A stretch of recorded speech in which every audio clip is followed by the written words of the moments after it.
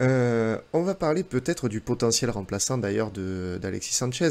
Euh, c'est euh, Wissam Ben qui revient, la rumeur revient à la charge. Est-ce que ce serait le bon remplaçant? On va se poser la question pour Alexis Sanchez. Thomas, alors qu'est-ce que tu penses de Wissam Ben Yedder? Il y a eu un petit débat en interne dans la tribune olympienne entre Axel qui voulait absolument prendre Ben Yedder J'exagère pas trop hein, en disant ça. Il a dit vraiment c'est le, joueur parfait pour le remplacer. Et moi, qui jugeais que, que non, que non, tout simplement. Euh, donc je sais pas si vous voulez que je commence ou vous voulez commencer. Oui, non, mais tu peux, tu peux commencer. Vas-y, Moi, au final, voilà, je trouve que Ben Yedder, ça serait autant, voire plus cher qu'un Sanchez, en fait. Pour un mec moins bon, je trouve, euh, au final. Donc je comprendrais pas si, si ça se fait, quoi. Euh, c'est tout simplement ça. Il est très bon, Ben Yedder, il n'y a aucun souci. Mais là, on y perdrait clairement au change par rapport à Alexis Sanchez. On parle d'Alexis Sanchez, bordel. C'est pas la moitié d'un trou de balle, le gars, je veux dire. C'est un joueur de classe mondiale. Et si Ben Yedder en était un, avec tout le respect que j'ai pour Ben Yedder, qu'est-ce qu'il foutait à Séville et Monaco? Non, mais c'est vrai. Bon, après, voilà, j'aime beaucoup Ben Yedder, il n'y a pas de souci. C'est un très bon ah, joueur de Ligue 1 très bon joueur de Ligue 1, mais c'est trop cher pour ce qu'il peut... Tu le mets bien en valeur, là, c'est sûr. Mais non, mais c'est ah trop cher pour ce qu'il peut nous apporter. Et comparé à Alexis Sanchez, la question, c'est c'est pour le remplacer? Oui, oui, On n'est pas du tout sur le même niveau pour moi. Et je veux, genre, voilà, moi, j'en voudrais pas pour remplacer Alexis Sanchez, car il ne sera jamais en mesure de le faire. Prenons un autre profil, si vous voulez. Voilà, la solution pour moi, ce serait de dire, on part sur autre chose. On prend un autre profil, un MDI, ça me va tout à fait. Mais pas un Ben Yedder, je suis désolé. Donc, euh, c'est un avis très catégorique, je le sais, il n'y a pas de souci, mais euh, essayez de me convaincre si vous voulez du contraire. Hein. Euh, allez-y, allez-y. Hein. Thomas, qu'est-ce que tu en penses? Bon, alors déjà, la piste Bagnéder, c'est une, c'est une vraie piste en cas de départ d'Alex Sanchez. Ça, c'est un premier point. Euh, pourquoi? Parce qu'en fait, en réalité, ce qui se passe, c'est que Bagnéder, il lui reste un an de contrat à Monaco. Alors, il touche très très cher à Monaco. Hein. Il a un très gros salaire. Je crois qu'il a 650 000 euh, brut, enfin bon, qui est du net hein, quasiment pour, pour Monaco. Euh, maintenant, ce qu'il y a, c'est que il est suivi aussi par Rennes. Euh, ce, qui, ce que j'ai ce que j'ai compris en fait un petit peu des retours que j'ai eu, c'est que concrètement Ben Yedder accepterait de baisser son salaire assez, de manière assez importante en contrepartie, ça serait d'avoir un contrat longue durée. Euh, style 3-4 ans. Voilà, 3-4 ans pour Ben Yedder. Ben Yedder, je rappelle, il a déjà 32 ans. pas de bêtises Ouais, ouais, c'est ça. Ouais, 32, 33, ouais. Voilà. Euh, donc, euh, lui, ça serait dans l'idée, il pourrait accepter un, contrat longue durée, évidemment, qui rentrerait plus dans les conditions salariales que pourrait proposer l'OM et que potentiellement pourrait proposer Rennes aussi, parce que Rennes aussi a, du, a, du, a des sous, hein. ils en dépensent en ce moment, on voit. Et en termes de grille salariale, ils sont en train d'augmenter un petit peu leur grille salariale. Donc, euh, donc s'ils peuvent récupérer un, un, un Ben c'est que Ben Yedder fait l'effort, en tout cas. Hein. Euh, parce que je vous assure que Ben Yedder jamais signera en France au tarif où il est à Monaco. Voilà. Mais il, apparemment, il serait euh, OK pour, pour on va dire, comment dire, lisser son salaire. Je sais pas comment on pourrait dire ça. Mmh. avoir un salaire plus bas, mais sur un contrat de 3-4 ans. Voilà. Donc ça, ça serait une ça serait euh, potentiellement une, une, possibilité. Euh, maintenant, euh, je suis pas sûr qu'en fait, comment dire, je suis pas sûr que sur le papier, ça soit véritablement un remplaçant avec Sanchez parce que tu pourras pas le remplacer avec Sanchez. Tu pourras pas le remplacer. C'est pour ça. Tu pourras, tu pourras pas le remplacer. Mais par contre, si on, est on va être dans une attaque à deux, Ben dans une attaque à deux, c'est très, très, très fort. C'est très très fort, à deux, pardon. Parce qu'il peut faire beaucoup de choses. Il peut avoir ce jeu de remise, c'est un vrai tueur devant le but. Mm. Euh, certes, il n'a pas la vitesse euh, bah, d'un Njai ou d'un Balogun, euh, mais, mais moi je trouve qu'il a quand même montré ces dernières années que c'est un, garçon qui te met minimum 15-20 buts en championnat. Et ça, quand même, il n'y en a pas beaucoup, des attaquants comme ça. Donc, euh, moi, il je. Tire, il, tire, tous les pénalties aussi. Ouais, mais il faut les mettre. mais oui, non, mais c'est toujours pareil, ça. Il faut les mettre, fais exprès, Je fais exprès de dire ça, ouais, Et puis, il marque, il marque dans, contre les grosses équipes du championnat aussi. Hein. C'est quelqu'un qui est assez, assez décisif, quoi. Hein. Donc, enfin, il marque pas que contre Angers ou, non, non, il, C'est un garçon qui a déjà marqué des buts très importants. Moi, je me rappelle contre avec Séville, il avait quand même eu dans des matchs de, de Coupe d'Europe de, vrais, de, vrais, de vrais buts très importants. Je me souviens, je crois qu'il y en a un contre Manchester d'ailleurs, qui avait été, fait un match à Manchester qui était assez impressionnant. Bon voilà, mais aujourd'hui, c'est une piste potentielle. Euh, c'est pas non plus la piste principale, mais euh, c'est un joueur qui aujourd'hui euh, vraiment euh, pourrait pourrait venir. Après, comme je l'avais aussi dit la mission précédente, ne pas sous-estimer le fait qu'il a aussi une offre euh, de, pays du Moyen-Orient, très belle offre financière, à voir ce qu'il a lui envie de faire. Parce que c'est toujours pareil, hein. c'est-à-dire la motivation du gars, si est-ce que lui, il veut continuer à se challenger et à jouer en, Europe pour jouer ben, la Coupe d'Europe, etc., jouer les premiers en championnat, ou est-ce que pour lui, maintenant sa carrière, elle est OK, il a fait ce qu'il a ce qu'il a à faire et puis euh, et puis maintenant il va aller se gaver euh, en Arabie Saoudite quoi voilà. C'est un peu c'est un peu ça l'idée. Ouais. Ouais non mais c'est sûr. Romain qu'est-ce que tu qu'est-ce que tu penses de Ben euh, on avait eu déjà aussi la, la, question il y a quelques il y a quelques semaines quand son nom circulait. Je t'avais dit la, question c'était est-ce qu'on recrute Ben Yedder en, mhm. en, conservant en plus Alexis Sanchez? Je t'avais dit ça dépend. Parce que pour moi ils ont quand même deux profils un petit peu euh, ressemblants, des petits joueurs qui aiment bien les petits espaces. Donc bon, voilà. Là, le, cas, le cas Sanchez est écarté. Donc si je veux répondre à ta, question, est-ce que c'est le bon remplaçant de Sanchez? Pareil que Thomas, je dirais que non. Euh, Sanchez, euh, voilà, le mec, il a joué à Arsenal, il a joué à, Manchester, il a joué au Barça, il a gagné énormément de titres. Voilà, rien que ça, tu peux pas dire que c'est le remplaçant d'Alexis Sanchez. Euh, en équipe nationale, il a jamais trop su s'imposer. Voilà, il a eu plusieurs fois la possibilité de, d'avoir ça. Il a eu sa chance il a pas saisi quand il y avait Giroud qui était un peu plus dans le dur. Euh, donc voilà, après c'est un sur le niveau on va dire international et, Coupe d'Europe, voilà, c'est pas c'est pas pour moi le joueur qui va nous faire passer un cap par exemple en Ligue des Champions. Euh, voilà, voilà c'est le, le, bémol que je mettrais sur lui. Après, oui, c'est un très très bon joueur de Ligue 1. J'avais dit, hein, si, voilà, si on a la possibilité de le faire, ben, il faut le faire parce que c'est comme dit Thomas, c'est quelqu'un qui met 15-20 buts par saison. Donc, euh, c'est impressionnant. Hein, euh. Ça mhm. fait un moment que nous, on n'a pas de, on n'a pas de joueur, euh, on n'a pas eu de joueur de ce calibre-là à marquer 20 buts par saison. Donc, donc voilà, écoute, à voir. Ça, ça reste quand même un profil intéressant.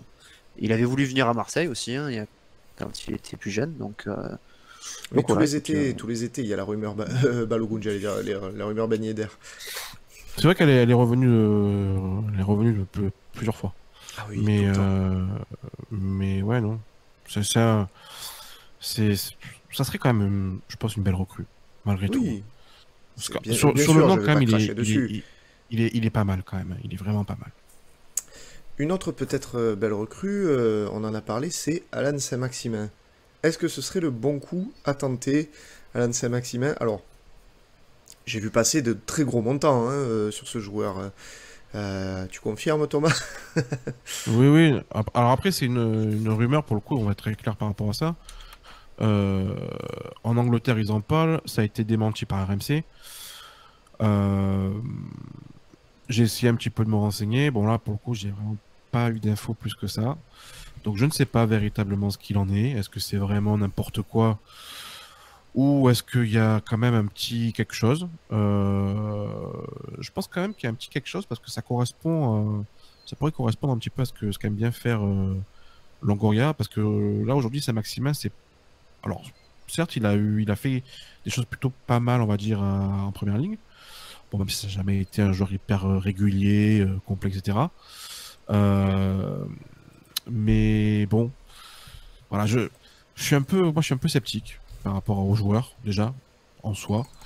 Euh, il peut correspondre en, il peut correspondre euh, potentiellement à ce qu'on a besoin sur les côtés, mais je sais pas. Voilà, c'est vrai que c'est c'est pas assez régulier pour moi pour m'apporter pour apporter vraiment des garanties suffisantes. Je suis assez d'accord. Et puis après, ça a l'air hors de portée pour nous. Hein. Moi, je, je comprends pas trop cette rumeur en fait. Hein. Euh, ok, on a besoin d'un mec sur les côtés. C'est un profil, on va dire, dont on aurait besoin. Mais je suis pas non plus hyper convaincu par, euh, par le joueur. Pour moi, ça vaut ça vaut pas ce prix quoi en tout cas hein, Saint-Maximin. Ça c'est la ça c'est la valeur mm. transfert marque que j'ai que j'ai marqué. Ouais, bien sûr mais j'ai les 30 40 millions euh, non quoi, c'est pas possible. Oui, oui, non, mais c'est. Oui, Surtout qu'il a été euh, énormément blessé cette saison. Hein. Je considère euh, pas que c'est sa valeur, moi. Il a, il, a été blessé à la cuisse à deux reprises euh, qui l'ont pas mal éloigné des terrains. Donc, ouais, ça, reste quand même assez cher. Et puis, bon. Après, ça, Maximin, il a une stat qui parle pour lui. c'est en fait, au niveau de ses des dribbles réussis, c'est, je crois, le meilleur dribbleur euh, de première ligue, de, je crois l'année dernière, et même, euh, ouais, non, je crois que l'année dernière c'était meilleur dribbleur de première ligue. Et cette stat-là, elle, elle, plaît beaucoup généralement aux, recruteurs, donc euh, voilà, ça peut être, ça peut être, ça peut être ça. Bon, c'est, c'est, une rumeur qui est un peu sortie comme ça. en Angleterre, ils en parlent. Chez nous, ça a été quand même bien démenti assez rapidement. Ouais, ouais, ouais. Donc, euh, donc à voir, voilà, à voir. Mais bon. Il aurait pu venir à un moment donné chez nous euh, quand il y avait Balotelli là. Ils étaient bien copains là. Sans parler, ouais. Et... Ouais, il, essayait de le pousser à venir. Enfin, il y avait eu deux trois rumeurs là-dessus. Euh. Mm, mm. Sans mm. parler à un moment de, Saint-Maximin. on va passer au sujet suivant, c'est celui de Kolasinac. On voulait se poser la question, puisque ça y est, là, c'est confirmé, ça a été, c'est passé dans la, dans la journée. J'ai vu que c'est la, la Talenta qui a fait la, vraiment la, communication. Euh, Kolasinac, le poseur de lino préféré de, Romain. Décidément, tu, perds gros, toi, cet ETS, si on perd Alexis ah. Sanchez, euh, Kolasinac. Euh, L'OM aurait dû faire l'effort pour le conserver, parce qu'on parlait de 2 millions d'euros net par saison, euh, un contrat de 3 ans plus une année en option, c'est ce qui est réclamé en tout cas. Est-ce qu'on aurait dû faire cet effort-là pour toi? Pour moi? Oui, pour toi, Romain Oui, ouais, ouais, bah, pareil, écoute, c'est un peu comme euh, Alexis Sanchez, hein, pour moi, c'est, euh, c'était un peu euh, les deux soldats de ton année passée. voilà, c'était quelqu'un qui était, je pense, un peu plus écouté dans le vestiaire. c'est quelqu'un qui, qui savait se remettre en, question aussi, parce qu'on l'a vu dans le dur après sa tête loupée contre Tottenham. il, voilà, il a eu une force incroyable, il est revenu, enfin, il moi, j'ai beaucoup aimé ce, joueur-là. Je, pensais même, tu vois, enfin, il aurait pu être vice-capitaine ou quelque chose comme ça, tu vois. On va laisser ses adieux là, c'est très, c'est très, émouvant. Euh, ça fait un peu mortuaire, je trouve, comme ça en mort et tout. Mais... ouais, c'est dommage. Je trouve que c'était quelqu'un. Alors, oui, euh, on peut peut-être qu'il n'était pas forcément trop compatible avec le système de, de comment, de Marcelino, même si voilà, ça aurait pu être un un joueur qui aurait pu, voilà, justement, on a entendu euh, Longoria dire, voilà, des joueurs un peu interchangeables, tout ça. Moi, je pense que lui, c'en était un. Euh, donc ouais, je suis un peu, je suis un peu déçu parce que voilà, encore une fois, c'était pas, c'était pas un tocard de notre équipe. Non, non, non. Euh, et ben, du coup, il part comme ça, libre en plus. donc je pense qu'on aurait pu, on aurait dû lui faire une proposition. Je sais pas, peut-être Thomas peut nous confirmer. Est-ce qu'on lui a fait une proposition avant la fin de la saison? Cette oui, question. Euh, ils ont. Ouais, m'a fait une proposition. Euh, bon, qui n'était pas du tout au niveau de la proposition de l'Atalanta, très clairement. Euh, donc, donc voilà, après, du côté de, du club, bah, le truc c'est qu'on se dit que concrètement, dans une défense à 4, il peut pas. Il pouvait plus jouer dans l'axe. C'était pas possible. Et sur le côté gauche, ce que je comprends, c'est que l'OM a un peu plus d'ambition sur ce poste-là qu'avoir Kolasinac. En termes de qualité de joueur, voilà. Donc, euh, donc, euh, donc voilà, ils ont fait une proposition pour lui, pour un, salaire de remplaçant, très clairement, et qu'en fait, aujourd'hui, euh, il a signé dans un, à l'Atalanta avec un beau salaire, contre longue durée, ce que d'ailleurs l'OM ne proposait pas. L'OM proposait, à ma connaissance, juste un an avec une année d'option. alors que l'Atalanta a proposé trois ans avec une année d'option, donc ça n'a quand même rien à voir. Euh, pas le même salaire non plus. Par contre, j'ai vu passer euh, cette histoire-là qu'apparemment euh, il aurait plus donné de nouvelles à l'OM au dernier moment. Enfin, qu'il n'aurait plus donné de nouvelles du tout à l'OM, que l'OM attendait une, une info. Euh, c'est pas tout à fait ce qu'on m'a rapporté. Voilà. C'est pas, c'est pas. C'est qu'ils n'étaient pas d'accord, tout simplement, quoi. Non, non, mais c'est que simplement il y a eu une fin de, une fin de négociation euh, qui s'est effectuée euh, tout à fait normalement et qu'il n'y a pas, ouais. il y a pas eu cette histoire de collaginage qui donne plus de nouvelles de ce coup au club. moi, pour moi, on, m'a dit, on m'a dit l'inverse. Moi, c'est pas forcément le salaire, mais c'est la durée du contrat qui, qui, me gênait. Quand je vois 3 plus 1, ça commence à faire peut-être un peu beaucoup. Bon, par contre, 1 plus 1, c'est peut-être limite. Enfin, je sais pas, proposer lui vraiment 2 ou 3 ans et on n'en parle plus, mais je trouve que oui, on aurait dû faire l'effort. En plus, c'est une forme de récompense pour un mec qui a, été exemplaire, comme tu le disais, Romain. Un gars solide, quoi, du vestiaire. Un joueur qui s'est affirmé au fur et à mesure, jusqu'à devenir, en fait, une valeur sûre de, de l'effectif. Maintenant, voilà, on va faire quoi? Recruter un gars à 10 millions, lui proposer le salaire que Kolasinac aurait réclamé sans avoir la garantie qu'il soit aussi bon, c'est dommage, je trouve. Après, j'ai de plus en plus, voilà, comme je disais tout à l'heure, que certaines prolongations ont trop traîné à cause du départ euh, d'Igor Tudor et du temps que l'on a mis pour faire signer son remplaçant. C'est, ça a dû en frustrer peut-être plusieurs, peut-être Kolasinac, peut-être Alexis Sanchez aussi, comme je disais tout à l'heure. Je, me pose de plus en plus cette question-là. Mm. Je me dis, est-ce que ça y a joué? Parce que si tu avais déjà réglé ce problème-là de l'entraîneur et que tu pouvais te projeter sur la saison suivante dès la fin mai, bah, tu les aurais peut-être déjà re-signés, ces joueurs-là, depuis un moment, en fait. Après, après juste un truc, euh, on parle quand même de 2 millions annuels net. Hein. Donc, il euh, faut faire quand même le calcul. 250 euh, 000 par mois sur du brut, voilà, de 50 000 par mois. Euh... Bah, c'est pas dingue non plus. Attends, parce que la dernière fois, quand j'ai dit ça, je me suis fait allumer. Ah bah, on sait que tu payes voilà. SF, donc ça va.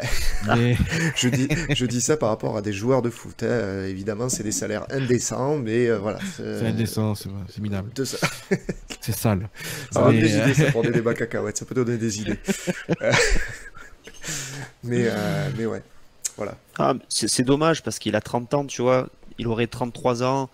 Je me dis, bon, lui proposer un contrat de 2-3 ans euh, supplémentaire, c'est un peu, un peu risqué. Mais là, il a 30 ans, je sais pas. Ouais, moi, j'aurais tenté comme toi, je suis du même avis. On va aller, on va aller prendre un, mec qu'on connaît pas. Euh, alors, beaucoup plus jeune, mais on ne sait pas s'il va s'acclimater euh, à l'équipe, au système de jeu, au vélodrome. Enfin, voilà, vous voyez, il y, a plein de, de paramètres là.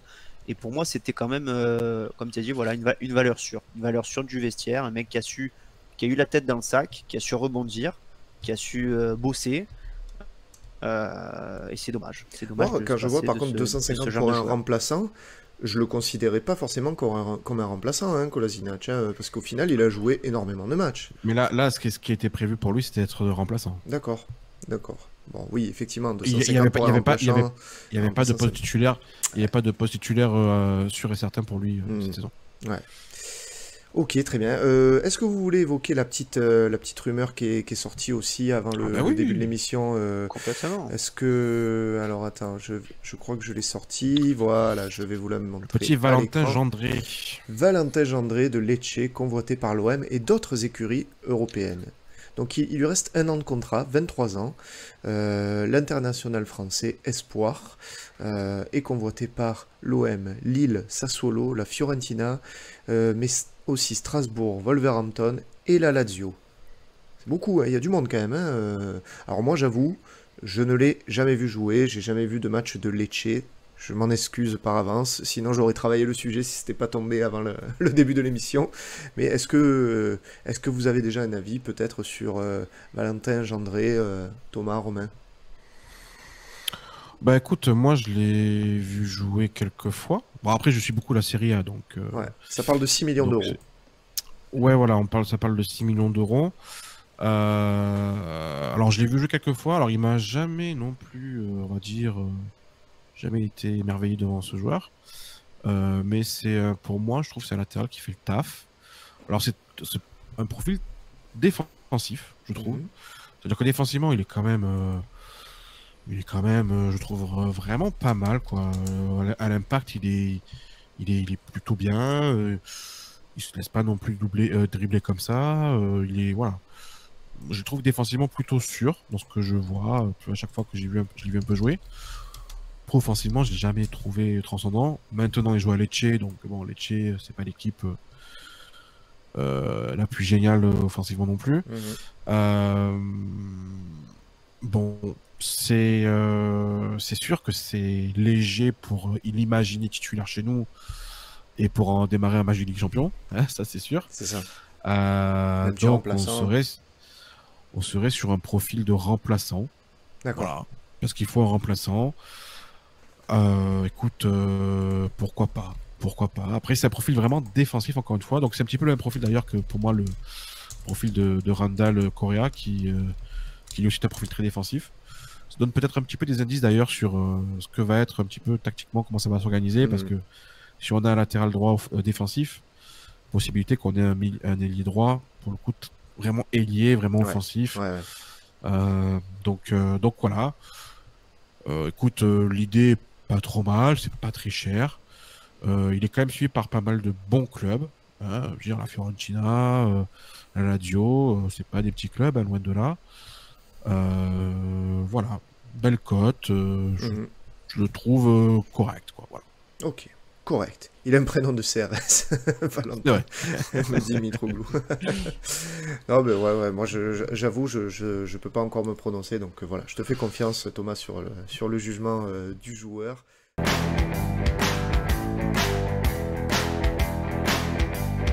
Shutterstock